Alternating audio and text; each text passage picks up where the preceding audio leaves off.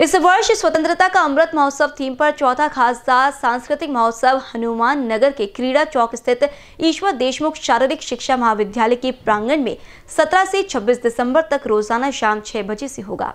महोत्सव की प्रणेता और केंद्रीय मंत्री नितिन गडकरी ने एयरपोर्ट साउथ मेट्रो स्टेशन के हॉल में हुई सभा में कहा कि विदर्भ के प्रतिभाशाली कलाकारों को एक बड़ा मंच मुहैया कराकर उनकी प्रतिभा से देश को रूबरू कराने, उन्हें राष्ट्रीय और अंतर्राष्ट्रीय कलाकारों से कुछ नया सीखने का मौका देने और कला का आदान प्रदान करने के उद्देश्य से ही यह महोत्सव होने जा रहा है।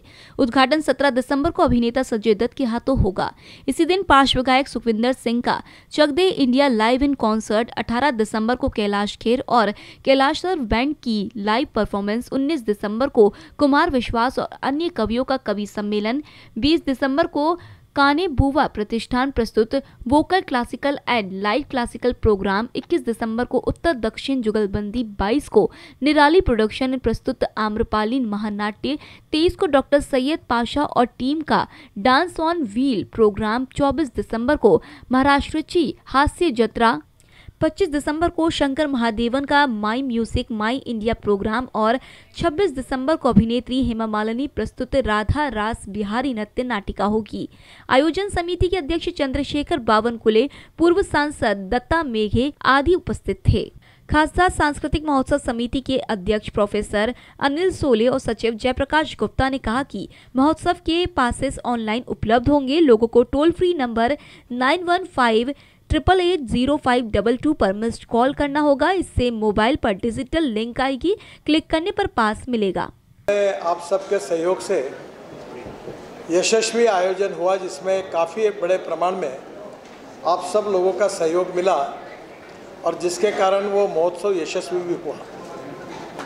पर जो दो साल पिछले थे, वो कोविड के कारण हम कार्यक्रम नहीं कर सके।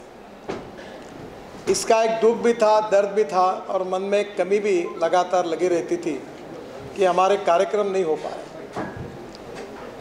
इस साल हम लोग अपने इसका आयोजन किया है, पर जब कोविड का पीरियड थोड़ा कम हुआ था तो अभी अनिल जी ने जैसे बताया एकांकिका स्पर्धा का आयोजन किया था। और मुझे बड़ी खुशी हुई, मुझे भी कुछ एकांकिका देखने का सौभाग्य मिला। साढ़े चार सौ कलाकार और तेईस नाटिका एकांकिका हुई।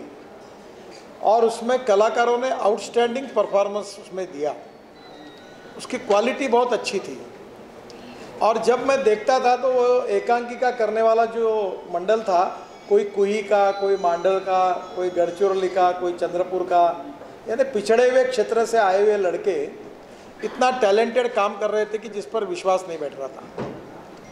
तो एक बात मन में आई कि हमारे पास टैलेंटेड कलाकारों की कमी नहीं है। कैमरा पर्सन राजकुमार मोहर के साथ अभिषेक पांसी बीसीए न्यूज़ नागपुर।